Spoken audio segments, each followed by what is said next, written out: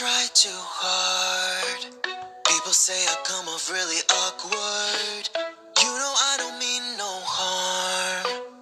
I'm just trying to be myself, but sometimes I get confused cause I can't read social cues. Threw my inhibitions out the door.